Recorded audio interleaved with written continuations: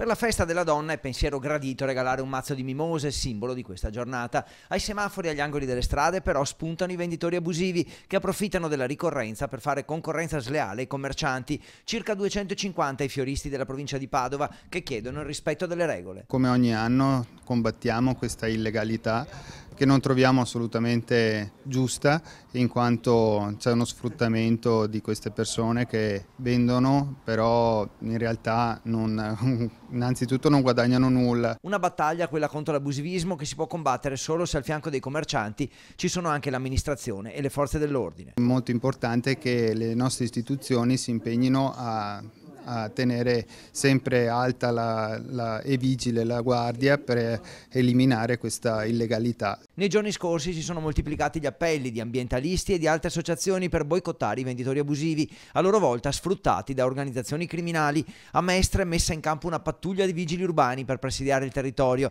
I commercianti lanciano una richiesta anche al sindaco Giordani. Noi il sindaco eh, cerchiamo sempre di renderlo partecipe nelle problematiche della città, questa è una delle tante e ci auguriamo veramente che eh, questa amministrazione sia sensibile al commercio, sia sensibile alla legalità e alla sicurezza.